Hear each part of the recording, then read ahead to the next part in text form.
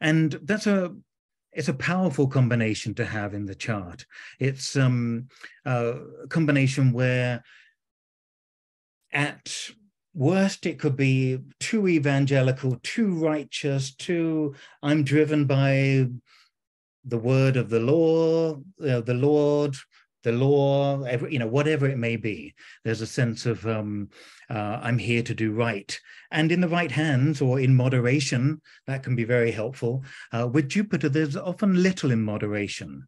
Um, Mars Jupiter would suggest huge energy, having the courage of your convictions, um, being um, you know, powerfully driven with your aims and your ambitions and your desires.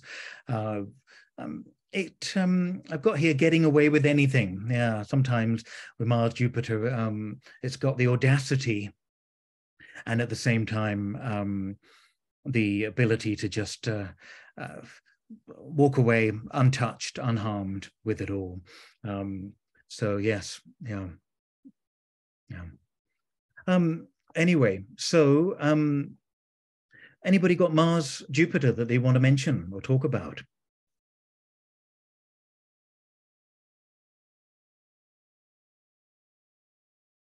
Go on, Maria. Give us some information. You got the trine. Okay.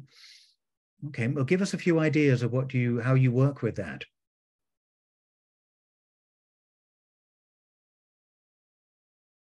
Okay.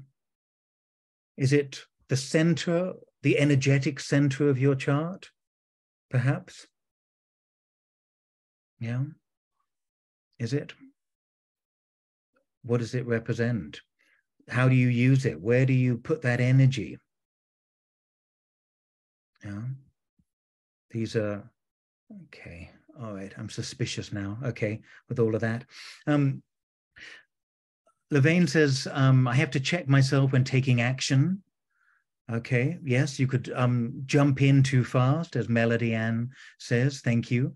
Um, notice when you're spun out trying to relax yes.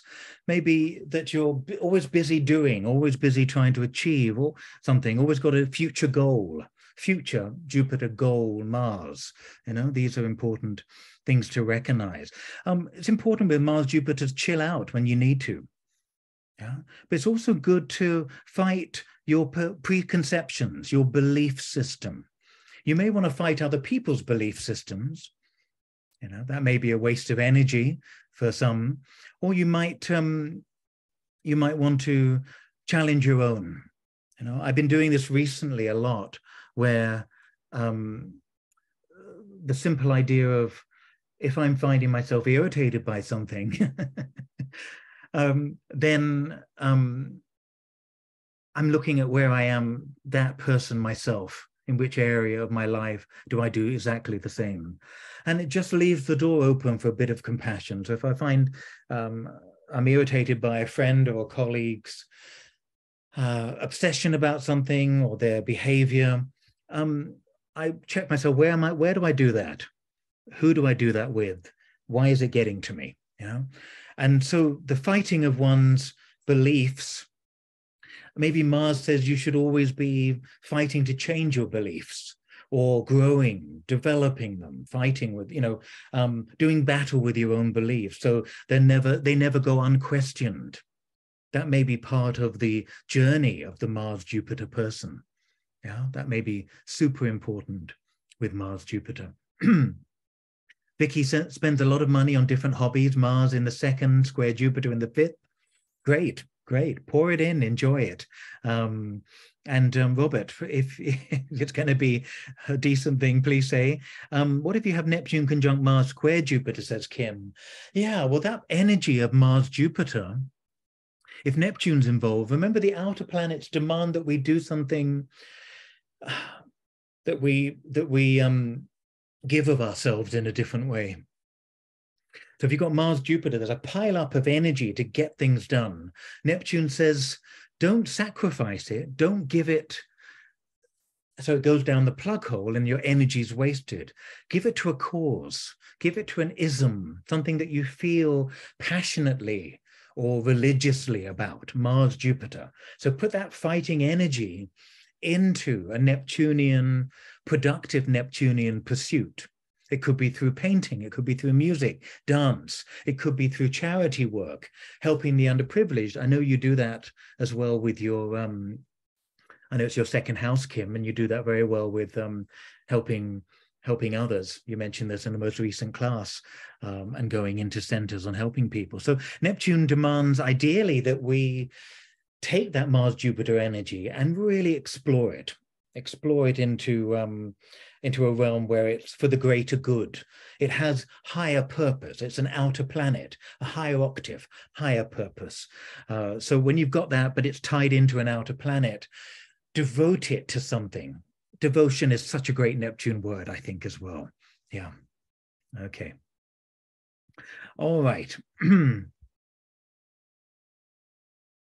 okay. So thank you. Thanks, um, Kim, for that. Um, Okay. So Nicholas says, is Sun conjunct Jupiter? Uh, let's have a look. I can't see it now.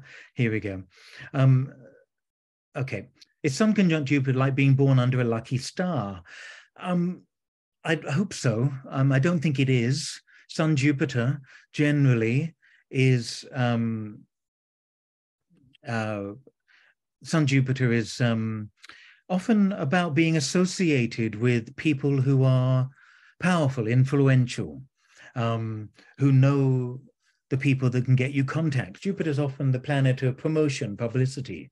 Sun Jupiter people are often in the right place at the right time or with the right people, or they happen to be, you know, you live next door to somebody who's who can help you with your work or your job or etc. That sort of thing. Yeah. Um, and and so the um, that's uh, that's key. I think that's key to it. Uh, Sun Jupiter, being being born under a lucky star. I don't think there is any lucky combination, any lucky planetary position or or placement. Um, everything can be turned into something helpful and useful. Hopefully, um, uh, in um, uh, there we go. Okay, thank you, Robert. Um, let's get rid of Robert. There we are. Um, and um, so, yeah, yeah, I think that's, um, I don't think there's a lucky planet. I mean, Jupiter is supposed to be the lucky planet, uh, but what it does, it gives you something for nothing. And what you do with that is how you work with your own luck, how you, whether you turn uh, that luck or that into an opportunity, whether you turn it into something useful. Yeah. So you make your own luck, really. And Jupiter is often the door opening or the hand extended to you. But whether it's actually uh, lucky or being born under a lucky star, mm, um, if it, you know, how you perceive your chart is key to how you succeed with your chart. Know, if you think you've got a negative Venus or one that will never attract love or money, believe me, that will be your viewpoint, how you see the world um, as well. Okay. Okay. Thank you. Um, I'll ask Mario to let's have a look if we can get rid of Mike Ross. Thank you. Okay. All right. Um, okay, I will try. Levine asked about Mercury, Neptune. Okay. Uh, Megan says, I've got Sun trine Jupiter. I don't seem luckier than other people necessarily, but when things go my way, when I get good opportunities, it always happens from being in the right place at the right time. Thank you. Yes, that's that's um, that puts it more succinctly than I did, and it's often not from conscious action on my part. It's a result of some small thing. Yeah. Yeah, I think that's that feels very Jupiterian. Sun trine Jupiter, yeah, right place, right time, right situation. Oh, that was nice, um, but it doesn't last Jupiter you can make last by investing some Saturn commitment into it. Jupiter's like a big fat ball of opportunity that knocks on your door. And if you don't open the door and run with him, he's gone. He's gone on to another door. Yeah, he's gone on to another house to knock on to. Okay, Lorraine asked about Mercury Neptune. Okay, let's take a look at Mercury Neptune. Hmm. Mercury, Neptune. Now, if I've missed any of your requests, I know a couple of you asked about a few things. Um, email me because I'm not obviously able to read everything coming up. Mercury, Neptune. Okay. Um, you know, if you've got strong Mercury, Virgo, Gemini planets, planets in those signs, and you have a Mercury, Neptune, you sort of got to learn to to be on a different rhythm. Yeah? If you're going to try and do the Virgo of the systematic order, everything in its place, the I's dotted, the T's crossed, that's not going to work if you've got a Mercury Neptune. Neptune says it's got to come from a different source. It's got to come, uh, uh, it's got to come from somewhere else. If you try to sort of micromanage something, Neptune says everything is too vast. You will lose yourself if you try to just focus on one little piece of the jigsaw. So you do find Mercury Neptune in charts of people who got strong Virgo. And I say to them, yeah, do the preparation of the Virgo and then run wild with the Neptune. You know, take your, it's a bit like setting up the holiday and then just running around on the beach all week or or doing all your emails in the morning and then spending the afternoon painting that's like mercury and then neptune or virgo and then neptune or it could be the other way around. You do your Neptune and then you finish the jobs that need to be done at the end of the day. Yeah. Now, Nina says, is Mercury Neptune the same as Mercury in Pisces? To some extent, Mercury Neptune is a planetary dynamic. It's going to come up very powerfully in the chart, in the life. If you've got a major aspect, particularly conjunction, square, or opposition between them, it's going to come up powerfully in the life. Mercury in Pisces is a way of expression. Um, so they've got a lot in common, but Mercury and Neptune, in a sense, I would say is um, even more uh, life defining or determining in a sense. Um, Sophia, Sophia might says um, Mercury trine Neptune, also opposite Saturn. Yeah, that that hopefully will give you the discipline. Hopefully, it won't give you the well. There's no point in trying. I might as well give up when we've got Saturn and Neptune working, it could be inspired dedication, or it could be, well, everything, the whole world is run by aliens and um, reptiles, and there's no point in doing any, changing anything. Yeah, you know, there's there may be that feeling of well, it's about the system, Saturn, Neptune, um, but ideally, it's you know on a on a higher level, it's going to be about well, I can change what I can change and I'll do it with an inspired dedication. Saturn, Neptune, yeah. Um, but often we just say, well, the government wins in the end, or they're going to win anyway. And that's, we're sort of giving up to the system, Saturn, Neptune. Yeah, there's that feeling um, with that. Okay. Uh, Cindy says, I've got the Saturn Neptune opposition. I can go either way. Maybe depending on who you're in relationship with which friend or partner or family member, Cindy as well, because the opposition will come out, that Saturn Neptune will come out powerfully in uh, in the um, in relationships. Yeah. So ideally, you, I say waking up from the dream with Saturn Neptune. But we don't want to not dream. And we don't want to be so serious that we or we think that all dreaming is a waste of time, Saturn. But sometimes we have to wake up from the dream. We have to know what's reality. We have to dream the dream. And then we say, okay. Or as that famous book, what was it?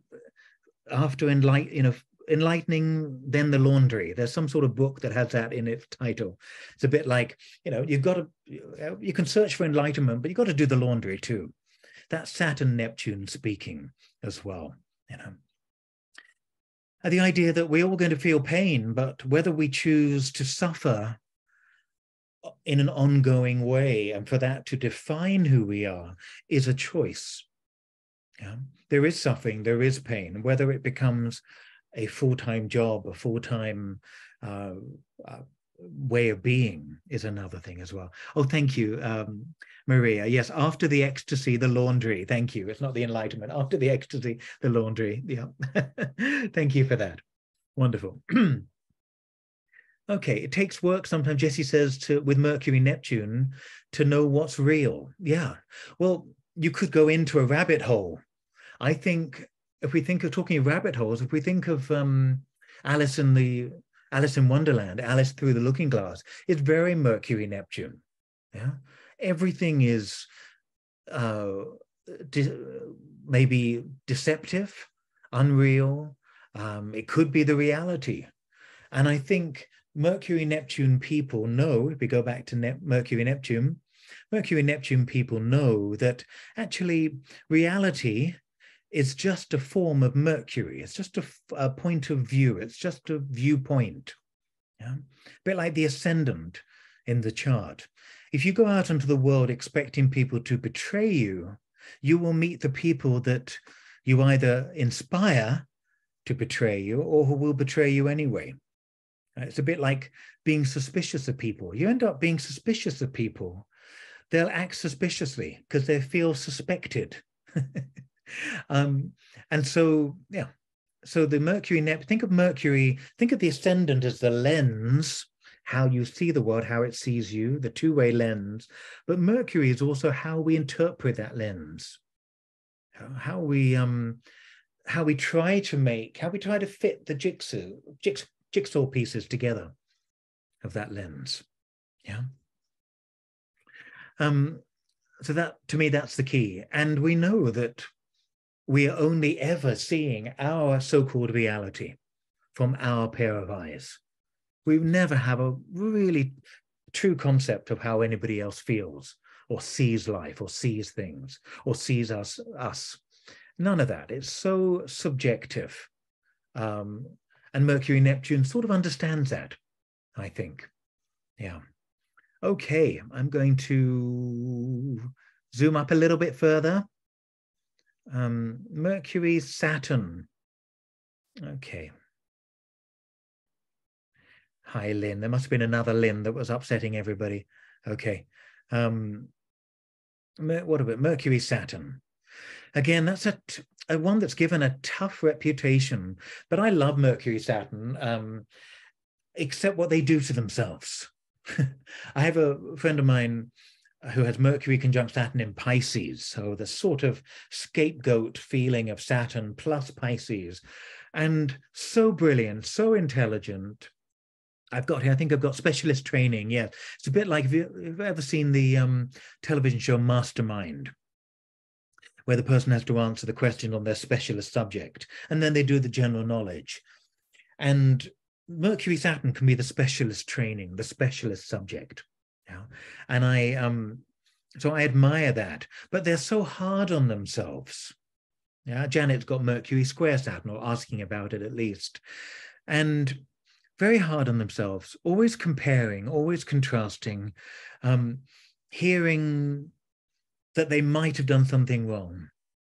Mercury, Saturn.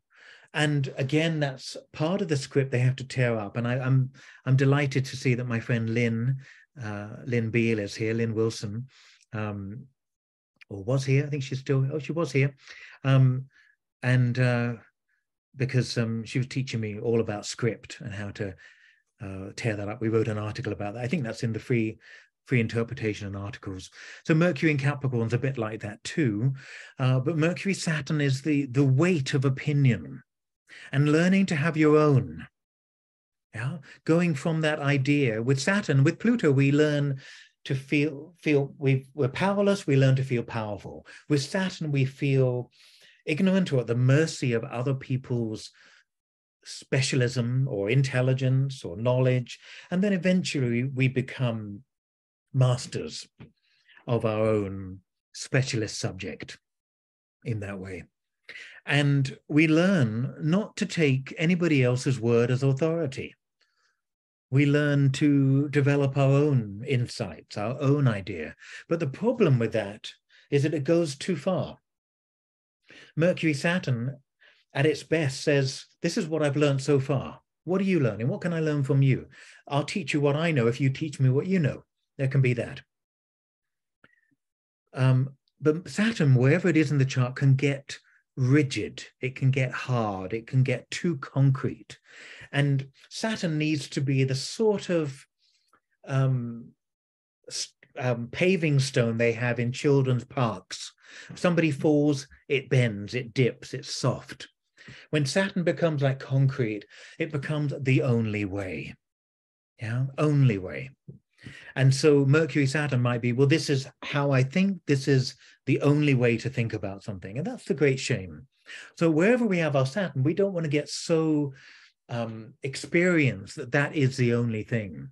It's a bit like, well, I don't want to read about that because it contradicts my point of view. um, and we can all get a bit like that. I can get a bit like that when I start hearing people talk about um, certain types of um, uh, traditional astrology.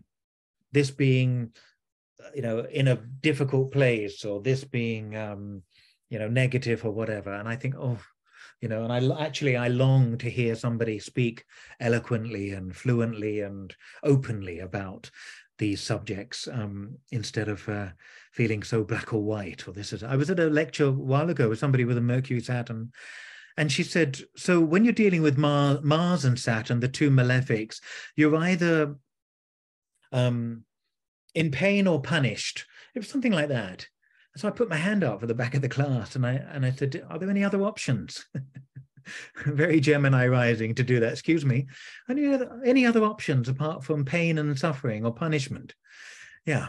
So we can all get a bit like that and we have to check ourselves. But Mercury Saturn is about the gaining of experience and confidence with knowledge, finding your voice, not being so judgmental of what people might say or think. Oh, she's, you know, it's like 10 comments. One of them is slightly critical, and that's the one you fixate on. That can be Mercury Saturn, that could be Mercury Capricorn. Yeah? So it's important to sort of catch yourself do that and say, no, no, what about the nine? The nine positive ones or the seven positive ones? Yeah. Wisdom comes over time. Yes, thank you, Kathy. Yeah. Um, okay, thank you, Sophia. Thank you, Sophia. All right, any others? Let's take a look. Um, early years holding back self-expression. Thank you, Janet. Yeah, yeah. Um, often there's a comparison with the sibling, if there is a sibling. Why didn't you do it like them? They got an A, you only got a C, that sort of thing. The shadow side of Saturn can be favoritism, where you realize actually somebody else is favored and they haven't really deserved it. That's probably the truth. um, but there's an awareness of being compared to someone or something. Yeah. Okay. All right. Have we got more porn? Okay. Let us know who it is. Thank you. Mm, oh dear. All this porn. I can't even watch it. All right. Jupiter Uranus. Oh, okay. We um. Okay. You um. Let's Mercury, Mercury, Pluto, Jupiter, Uranus. Jupiter, Uranus.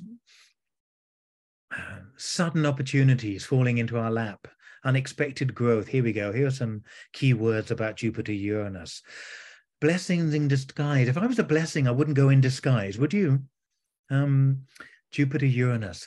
The the discovery that the world is this meaningful place, the discovery that things are um, that there's more. Uranus is about discovery and Jupiter is about more. That great discovery, wow wow, I've just been so narrow, and all of a sudden, it's like coming out of a, a very narrow train um, tunnel, and then all of a sudden you've got the landscape. That feels like Jupiter Uranus. Uh, wherever we have Uranus, there can be the only way, the right way, the need, all of that. Yeah. Um, Rhonda says, win a million, lose a million. Yes, it can be like that. That uh, um, that feeling of wow, what am I going to do? Oh, spend, spend, spend, spend. Um, uh, the freedom from dogma, that that idea that being able to um, not get rigid about the only way to do something. Um, this is the perfect way. Well, there are, you know, each each way is perfect for the person themselves. You know, um, there's not only one astrology that sort of thing. Yeah. Uranus likes to say this is the perfect one. This is the system that works. This is the breakthrough. This is going to change your life. This is the only thing. This is the only diet that will ever work in your life. sort of YouTube adverts you get while you're just about to watch the good bit. And if somebody sells you something and you think, okay, now you've told me that, I'm definitely not buying from you. Um, so Jupiter Uranus has a great adventurous feeling to it, particularly if it's around the angles of the chart, whether it's uh, conjunct or, or square or opposite the inner planets. It's going to be speaking in a personal way. Otherwise, it just might be what was going on in the news in your life if it's not doing much in your chart. Uh, it might be occasional uh, windfalls or sudden changes or say lucky accidents. Um, okay. Um, sudden growth. Thank you, Kim. Um, I know Sue Tompkins used to relate Jupiter Uranus to cancer cells because they were um, unusual cells different cells that were growing you know and again please don't read that in any way to suggest jupiter uranus is linked in your chart to cancer, but it, she was using the symbolism of that foreign cell, that unusual thing that grows. Um, maybe I shouldn't have mentioned that. Anyway, so Mercury Pluto, yes, you've been determined there, uh, Renata. Uh, put that in there. Mercury, sorry, Mercury Pluto. Let's take a look at Mercury Pluto. Here we go. And that's one of the great things about Mercury Pluto is their concentration, their ability to keep to keep writing in the chat box to remind me Mercury Pluto determination in that sense. Um you know I want a strong Pluto person in my life if I want to have somebody by my side through thick and thin through fat and thin shall I say through chocolate and bouts without chocolate.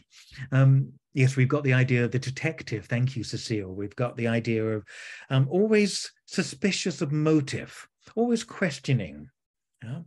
Now, if you're like me, I've got Mercury, Pluto. I'm also a Gemini rising. I'm always thinking about the other point of view, the other idea. The, what's on the other hand? Tell me about this. What's but Mercury, Pluto is super suspicious. Yeah. What's really going on here? Yeah. I'm going to be careful conjuring up too Mercury, too much Mercury, Pluto after what we had half an hour ago. Um, neurosurgeon says um, Nicoletta. Um, speaking truth to power. Thank you, Susan. Yes, exact Mercury Pluto opposition. Speaking truth to power. Yes, having the power to change things with your voice, with a single voice, Mercury Pluto. So many of the people in the public eye that sell you know, have written influential books or written influential songs are very Moon Pluto or Mercury Pluto, because there's a there's a compulsiveness there, but there's also a determination to really change how people perceive things. And, you know, Mercury, some of you may disagree with this, but I, um, I know one of you may. Um, but I think of Mercury and the moon as the different halves of the brain. You could look at them as sun and moon. I like to think of the parts of the brain as uh, moon and Mercury. And the Mercury and moon are both different parts of the brain for different functions. The moon is obviously linked to memory and, and that sort of connection um, and habit. And Mercury is more to do with um, uh, putting the pieces together and language, uh, etc. But they're both with Moon Pluto and Mercury Pluto, both fascinated with secrets. Um, learning astrology from the age of 16 I started to hear people's secrets. People would tell me stuff that they wouldn't tell anybody else. And that was power in a sense of feeling trusted, but also understanding that somebody coming to see you um, and you think they've got a particular lifestyle may have a completely different perspective or lifestyle. And that's the under, understanding of Mercury Pluto. I often say as well that if you have siblings, Mercury Pluto often have siblings that are have been through trauma or drama or something extreme. And you're the sibling, if you've got Mercury Pluto, you may see that in your siblings, drama and extreme behavior, compulsions, different things. But your ability to know that knowledge is power and to keep silent is the key. And I often think that people with Mercury Pluto are often observers in childhood observing what isn't said, but in the family, the hidden messages in between, reading between the lines, and knowing that if they said the truth and they said the emperor's got no clothes on, and stuck, stuck up their hand and really revealed the truth, it could destroy things. So Mercury, Pluto go through life being very aware of the power to destroy with their words. It's the poison pen letter writer. It's the person that will um, get to the heart of something. It's like a poison dart that you might, it's like a Bond movie where you, so the villain blows and it sticks into somebody's neck. And all of a sudden, you know, they're dead. It's a Mercury Pluto dart. um, and yes, knowing that what you say can change people's lives, and therefore, knowledge is power, it's sacred, and we have to be super careful how we use it. Yeah. Um, that's, you know, and I've got here finally empowered or persecuted by ideas. That's interesting. You know, Pluto is where we persecute ourselves or where we felt persecuted in life. Yeah. Okay. Um, or and hopefully where we started to feel more empowered. You know, where we've got Pluto. I have a client of mine at the moment with Pluto on the IC. His father had a temper. His mother was a psychotherapist, very powerful Scorpio woman, and his father was a um, deeply Moon Pluto emotional man. And there was that fear with Pluto on the IC that any any moment there could be an eruption between the parents and something could change and never go back.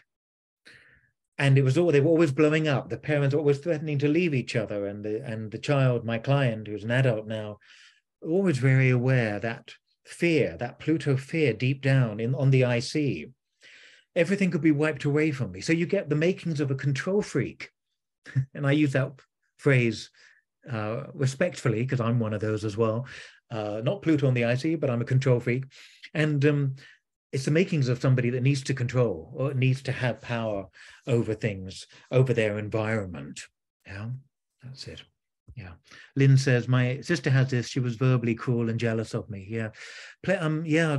Um, Kim would tell students examples of um, her own. She's got a Mercury in Scorpio conjunct Neptune, and she and her sister never got on or, as children, as sisters often don't, unfortunately.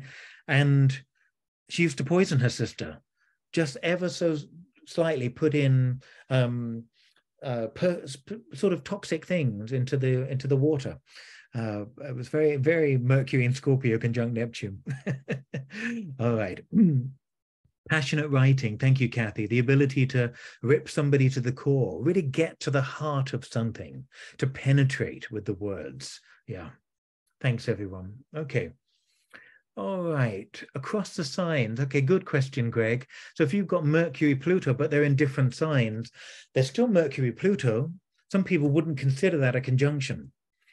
I would as long as they're within eight degrees really and that's a point i want to make in a moment um, is that even if they're in different signs next door to each other, they're going to um, you're going to have there's going to be a bit more interpretation to bring into it. There's going to be more areas of life that they encompass. That's just how it is. That's how it is. So um, my my feeling with that. Let's have a look. Um, okay. Uh, do, do, do. All right. Um, my feeling with that is that you just think Mercury, Pluto, and you think of the signs involved and think of these are the areas that could be obsessed about, but they're usually two instead of one. That's that's really like the opposition. You have to think about that, even if it's out of sign. You have to think about how they may work together. Um, Pluto, you know, Virgo and Libra are signs about doing the right thing. They're good manners, goody two shoes, trying to be perfect, trying to please people, trying to look after people. Um, these are things that you may really want to get to the heart of and say, screw that. Screw those manners, screw having to be polite just for the sake of it. Mercury Pluto wants to say, cut this bullshit, you know, that sort of thing. Okay. All right, um, let me just head back a little bit um, Venus Mars, could you make it more visible? okay, let's put that there for a minute then. Venus Mars. Um, often triangles with Venus Mars. It's Venus Mars people, it brings out the competition, the competitive instinct. It's a strange thing because, you know, they're next door to each other, Venus Mars, by sign and in the pantheon. Um, I mean, I know Earth is in between, but uh, astrologically they're next door to each other. And there's some, yeah, there's a lot to be said that planets that are next door to each other tend to influence each other. The hierarchy generally says that if you're Sun Pluto, it's Pluto that influences the Sun. The outer planet influences the inner. But when they're next door, like Jupiter, Saturn, Jupiter does a bit to Saturn, Saturn does a bit to Jupiter. Same with Venus and Mars. So Venus can soften the competitive instinct, or Mars can make um, the relationship life a competitive arena, for example. Yeah, and probably a bit of both. Wherever we have planets, there, wherever they are in our charts, there'll be points in our lives where, you know, one part of your life will be Venusian, the other will be, will be Mars. And that may swap and change sometimes. It's a bit like we were looking at Saturn, Neptune earlier. Saturn, Neptune people, usually very structured in one area of their lives and totally chaotic in another. It's like you go to their office, it's completely organized. There are shelves and A to Z for everything. You go home, it looks like a bomb site. um, so there can be that Saturn discipline and just letting go. Uh, same, you know, same with any combination. There can be a surprising quality.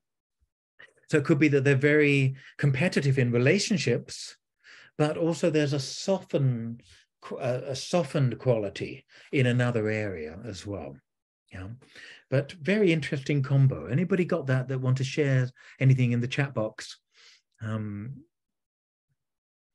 okay, Cristiano Ronaldo has got that. Okay, um, you know it's interesting. Mars and Venus. Just I don't know much about Ronaldo, uh, but Mars and Mars and Venus are obviously the sex symbols of the of the of of astrology. And what the public seems to like is a man with a strong Venus and a woman with a strong Mars. That's what seems to be the key in the charts of sex symbols. Yeah? You sometimes get the Marilyn Monroe, who was very Venusian, very Neptunian. Yeah. And she's different from that. But you tend to get the sex symbols like Angelina Jolie, very Moon, Mars, Jupiter in Aries on the MC, and then you get the softer David Beckham's Taurus with Taurus rising, Mars in Pisces, a lot softer Venusian dynamic. So we seem to like our men to be Venusian as sex symbols and women to be Mars-like as sex symbols. Um, I've noticed not all, not across the board, but often. Okay. Uh, let's take a look blending of the masculinity and the feminine yeah of, of the masculine and feminine thank you kathy yes and nowadays of course we're looking at all of that that simple dynamic um as it's really exploding with people just swapping thought getting new perspectives on these two we're really looking at very um, diverse and divergent expressions of venus and mars uh, in the world at the moment with how people are expressing their gender, their identity. It's really whatever you think of it, whatever whatever you've heard or wrapped up in it, it's, a fascinating time in history of what people are doing. So I'm fascinated by that at the moment. Okay, Lorraine had some Venus square Mars. Always feel like I need to win somebody's love. Thank you, Christina. That's really interesting. Yeah, the winning of it. What happens when you win it? Do you need to fight and fall out and then make love again? I don't know. You know, there's something about when when have you won with Venus Mars? Do you need to keep winning, keep arguing? Need it's a bit um something about the Venus Mars wants to throw a bomb into something and explode it if it gets too boring, gets too comfortable. Venus is like a lazy day out in in the sun. You know, bring me a pina colada, make sure you put the umbrella in it and a bit of um, pineapple and I can sit there and relax. And and all of a sudden you sort of want to get edgy or have a row or, or be dynamic. Yeah, Venus Mars needs that uh, tension, but sometimes it should be the other way too. When you've got that tension, remember to laugh, to relax, to make love, to have fun, to spend money, to go, you know, to pleasure yourself, whatever it is, it should be the other way too. But we tend to go from Venus to Mars and rarely from Mars to Venus. So anyway, some ideas about that. Um, Cecile is me is dating someone at the moment with Mars Venus connection between the two charts. Yes, there's going to be a definite chemistry, chemistry, and look at the dynamic of that. Look at who is throwing you're being selfish, the accusation of that, or who's doing too much, who's instigating, who's taking the lead. Have a play, enjoy the dynamic back and forth. Um, rather than it becoming a, a source of tension in a in a negative way, of course. Yeah. Now, Joy, hi Joy, says um, Venus Mars quintile. Now, I don't know much about the quintile aspect. Give me a couple of years. I'll come back to you after doing some research on the quintile. But I do know from what Faye Blake says. Uh, Faye wrote a great book I was just looking at today called um, uh, called um, Vocational Astrology, and she looks at the quintile in terms of the talent and the biquintile. So that's pretty much all I know about the quintile is that there's a, a talent um, that's supposed to be reflective of the talent, but I don't know enough about that yet. what I do want to add at this moment, um, okay, thank you everyone. Thanks for your kind comments. After all that madness mid midstream, it's nice to get everyone back and that we'll we can all focus again and not be uh, upset by it all. Um, yes, thank you, Lynn. Yes, I will. Yes, okay. um, all right. What I want to say to you when you look at your chart, have a look at the aspect, Venus, Mars, Sun, Saturn, whatever, and look at the number of degrees of the orb. So if you don't know what I'm talking about, have a look at, let me just share the chart of today with you, okay? So um, say you've got a Moon-Mars square.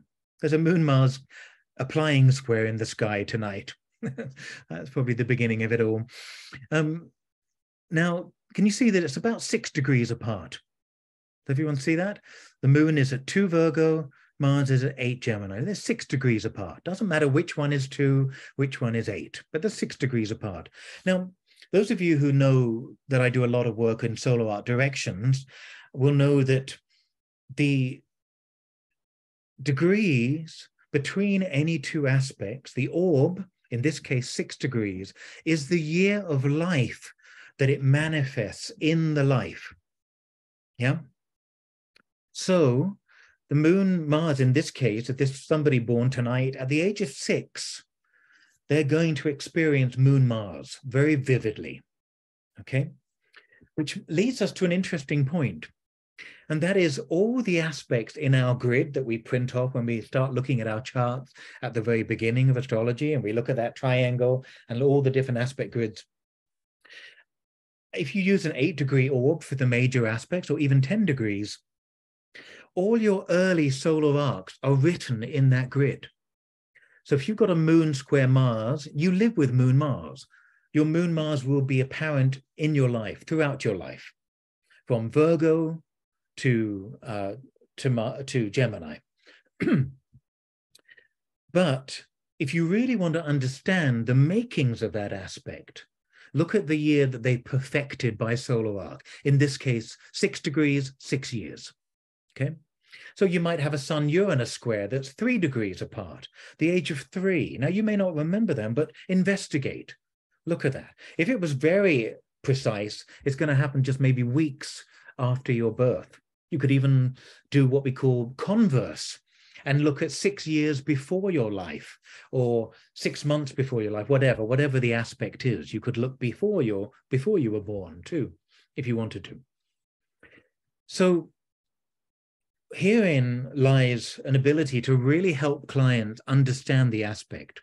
So if a client came to me and said, look, we started talking about the moon Mars, and they I, you know, maybe I spoke about an ability to think quickly, to react quickly, Moon, Mars, maybe to get angry quickly. It's in Virgo and Gemini, and those are signs that are usually quite irritable or crotchety sometimes. I speak from experience. Um, and Moon, Mars, Virgo, Gemini, trying to get an explanation of that. You might say to them, Do you remember the age of six? Do you remember what was going on at that time? and they might say, "Oh, no, no, I don't know." Then you leave it with them, or they might write to you later, or they might think about it later, or they might even give it to you later, which they often do. They might say, "Well, that hasn't happened since six or something," and they are okay. Let's talk about that age. Now they remember. And all of a sudden, you've got an event in their lives that may not necessarily be the source, but it's certainly a reference point to try and help them understand how to make the very most of that aspect. Now, the moon Mars might have been a sudden emergency at home.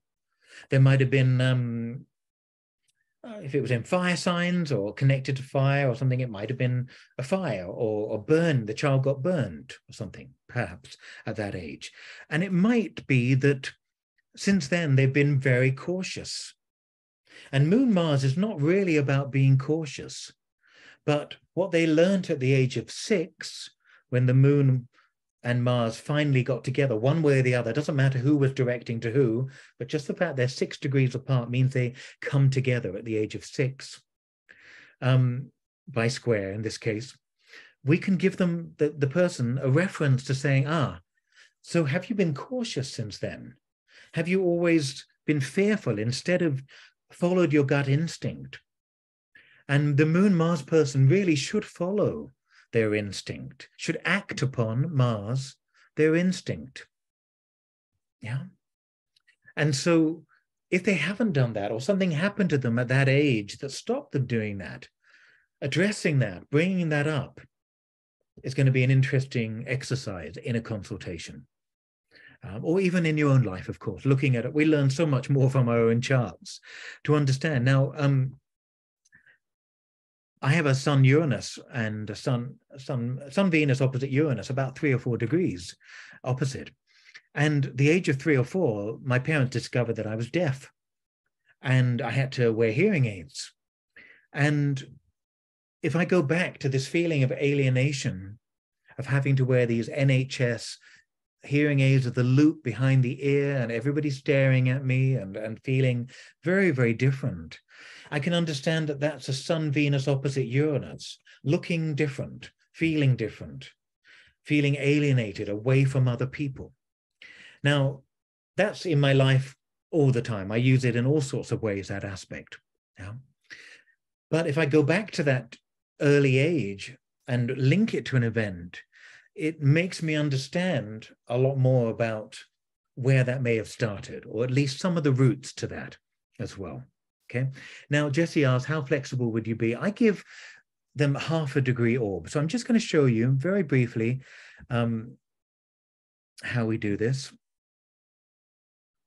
Okay. I'm just going to move it.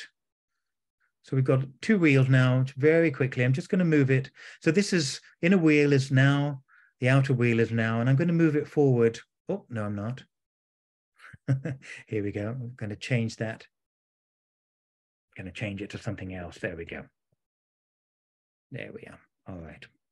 Um, so, uh, oh, oh, that's what it is.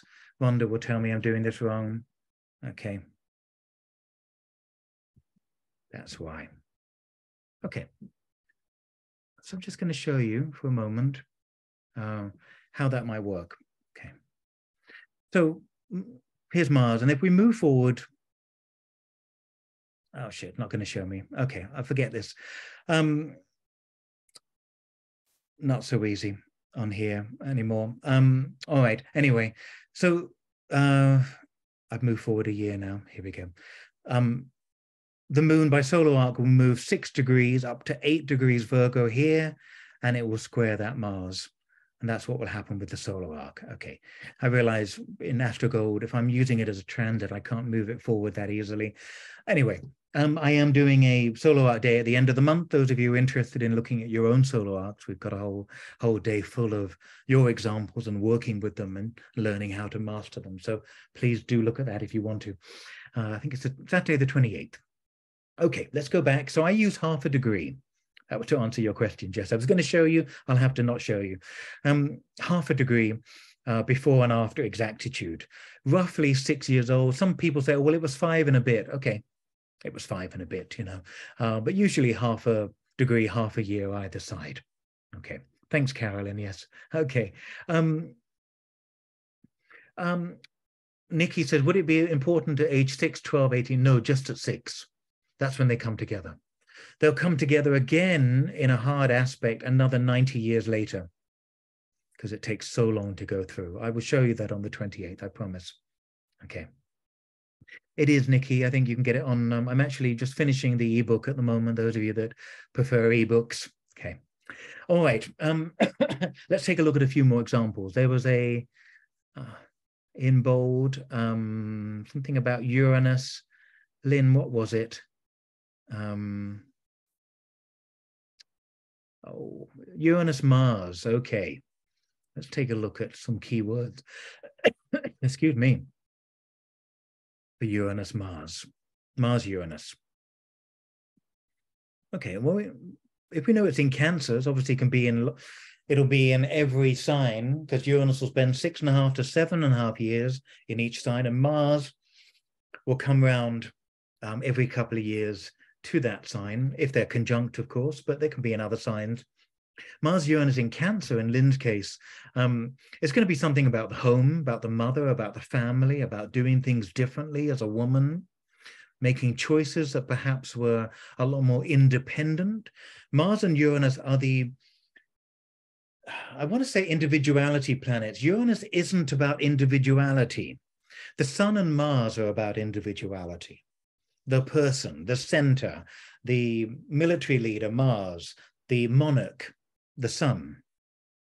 Uranus is about um, getting wrapped up in a cause, in wrapped up in something that you want to speak for, an ism in that way. Um, it's actually not very individual. When you've got 20,000 people on a march fighting for freedom, there's nothing individual about that. But that person may go home and they're the one individual that is fighting for transgender rights or vegan rights or against the war or whatever it may be. Yeah. So, in a way, Uranus, the idea is anything but individual. And the coming together is a group consciousness and Sun and Mars are the individuality. So when you get Sun Uranus or Mars Uranus, you get an individuality that's linked very much to trying to wake people up, to get people thinking outside of the system, outside of the box. But we know we may feel different, but when we sit here in a group of 230 people, uh, luckily minus a few uh, disrupting people, um, we we're, we're no longer Uranian in that sense. We're no longer on the outside. We're talking our language. We're mingling. We're connecting in that way. Mars Uranus is the thrill seeker. By solar arc, it's the one aspect that I think I say to my clients, I wouldn't normally say this, but be careful. Don't go hang gliding. Don't go jumping off a cliff in the next few months. You know, Mars Uranus is there's a need for excitement but there's also taking risks and sometimes not judging those risks carefully. Yeah. So I'm always, I, that's why I put here accident prone. Um, it's not promising an accident. Nothing promises anything by solar arc or by transit. It doesn't work like that. Uh, but it does mean that that try to understand your need for speed or your need for excitement at this point. during this transit or during this um, the need to be explosive the need to tell your boss or your family to go take a hike. Understand it and do it in a way if you need to do it do it in a way that works for you. Uranus is the most extreme of the planets. We think Pluto's extreme. Uranus is more extreme, extremer, uh, uh, because it doesn't have the emotional attachment to Pluto. You know, Uranus says, "To hell with you, goodbye, everybody. I'm going off. I'm moving house, changing my name, and living on the other side of the world. You'll never see me again." That's how extreme Uranus can be. You know, Pluto's extreme in another way. You know, Pluto says, I'm with you, you're mine. Uh, there's nothing you can do about it. Pluto is the godfather. It makes you an offer you can't refuse. But Uranus has an energy about it that is um, uh, uh, powerfully abrupt, cutting, breaking, um, eliminating in that sense, without emotion. So we have to be super careful with Uranus in our charts, not to get rid of everything. When I say to, you know, having a Uranus transit, somebody says to me, I just want to leave every, I, I want to go. I said, well, change a little bit, just this week. Change, um, to, you know, do what, it, first of all, do what you need to do. If you want to do it, do it. But if it's going to work against you, then change your schedule. Start this week by doing something different um, talk to your boss about doing four days instead of five days, or convert the room in the in the top of the house into an office so you've got some space for yourself. There's a need for space with Uranus transits. And if you're Mars Uranus, Moon Uranus, Sun Uranus, you're going to know about that individual need for space. Super, super important.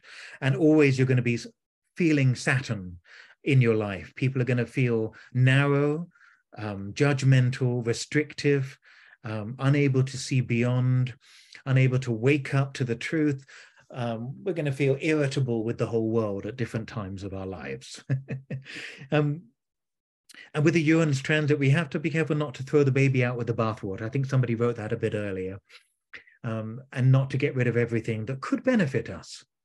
Getting rid of all your friends because you're sick of how you are as a friend you know changing them instead of changing you um, is a is an issue yeah so change you change your immediate surroundings with uranus transits or uranus directions uh, and um, work up towards the big changes that's that's often what i say to my clients uh, but then some of them want to make big changes and you know I, that's the last thing i do is stop them from that either so yes it's a powerful combo um, but they're both planets of speed. Yeah? They're both planets that are fiery in the sense of reactive.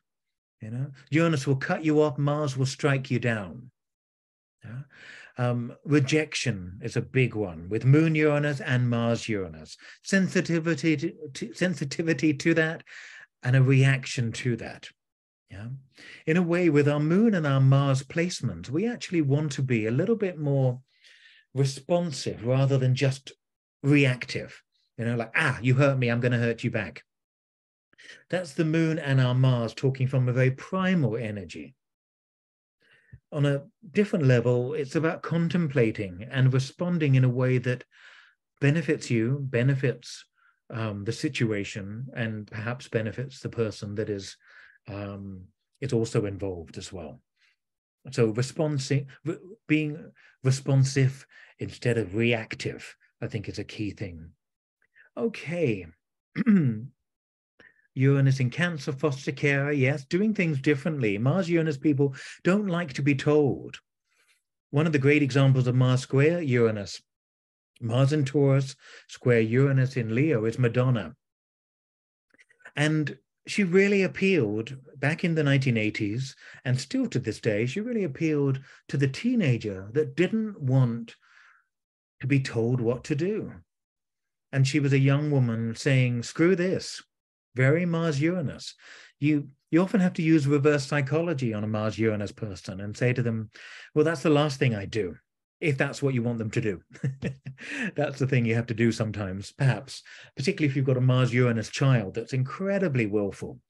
Um, when I look at children's charts for parents, and I do that very carefully, um, and if I notice a Mars Uranus, I'll say, um, or even a Mars Pluto, I said, be careful about getting into stubborn standoffs with your child because they'll probably win and they'll leave you embarrassed in front of everybody at the airport because they won't move. And I'm not moving, and neither am I. Okay, they'll they've got less to lose or less to worry about uh, the consequent worrying about the consequences of that. So um, Mars Uranus can be incredibly willful, and it's best to appeal to their intelligence. And Uranus is about, you know, well, it's about fairness. It's about equality. The ideals of Uranus are about actually, I thought you were trying to give everybody a fair go here. That's what I would say to provoke a Mars Uranus into maybe not feeling attacked, but feeling that they'll they need to consider an alternative rather than just be stubborn. Yeah, but it depends on the signs they're in as well.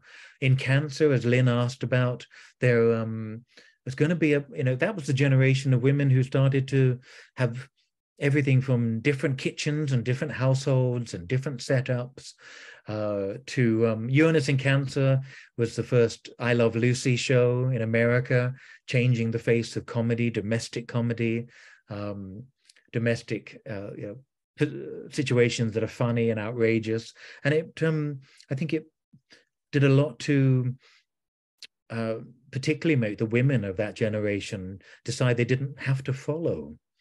When they moved when they grew up in the 60s and 70s they didn't have to follow other um, existing ways of being a mother being a woman being a wife having two options of a career instead of a multitude of them. So maybe maybe it's all of those things yes thank you melody ann yes in my solar arc book i look at christopher reeve and he's a he's a mars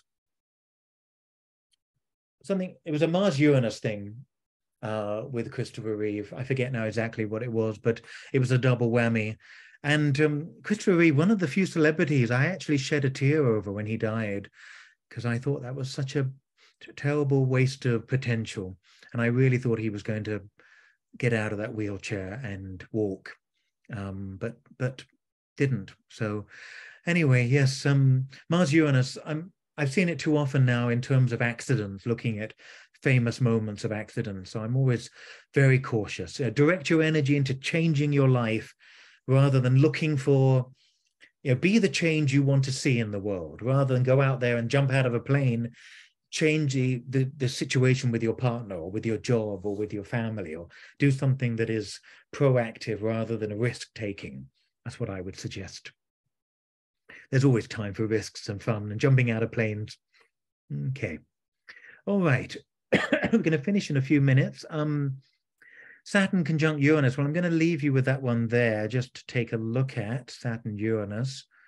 Um, I love this one. Oh, yes, here we go. After enlightenment, the laundry. Okay, thank you. I did have it somewhere. Um, I love this. I I'm no longer accepting the things I cannot change. I'm changing the things I cannot accept.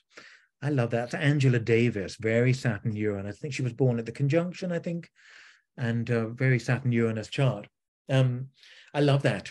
And so, you know, we talk about having the wisdom to know the difference between what we can and cannot change, but the idea of changing the things you can't accept in life, um, very powerful. Saturn Uranus combination, being born with that, um, are, are the changes of the future. The people born with it in the early 40s, people born with it in the late 80s, I think it was, um, and at different times in the, um, in, yeah, um, fascinating group of people who are going to change the system. Um, very powerful. Okay, okay. Uh, do, do, do. Does it slow down them down if they're retrograde? No, I don't think um, planets get slower if they're retrograde in terms of the natal chart expression. Good question, Nina. Thank you for that.